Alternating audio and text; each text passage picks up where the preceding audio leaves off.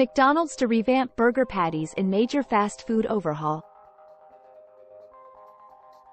Burgers, one of McDonald's most well-liked menu items, will undergo significant modifications even though the rest of the menu will remain the same, according to a Wall Street Journal story.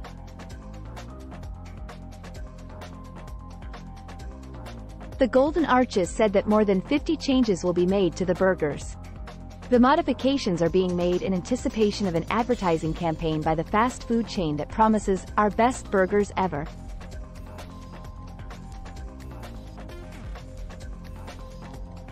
We can do it quick, fast and safe, but it doesn't necessarily taste great. So, we want to incorporate quality into where we're at, Chris Young, McDonald's Senior Director of Global Menu Strategy, told the Journal. The Big Mac, which consists of two all-beef patties, special sauce, lettuce, cheese, pickles, and onions on a sesame seed bun, is McDonald's iconic burger that will also change.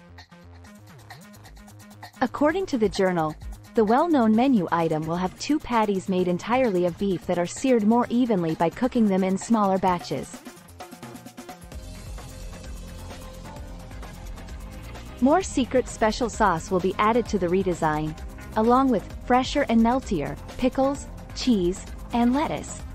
With the sesame seeds more haphazardly distributed for a handmade appearance, the previous sesame seed bun will be changed into a buttery brioche. Chef Chad Schaefer has spent the last seven years honing the new burger patties at McDonald's corporate headquarters in Chicago. One double cheeseburger was prepared by the chef using the old method, and one using the new one.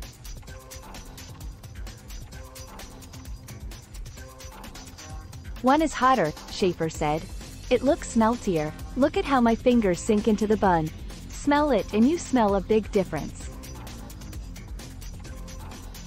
He said that the old McDonald's burger recipe was kind of dry. This one, it's kind of dry. It cracks. And this is the best case example at headquarters.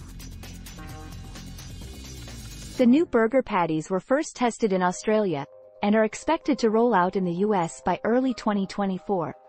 The West Coast and the Midwest will be the first of the 13,460 locations of McDonald's to experience the new burgers, the journal said.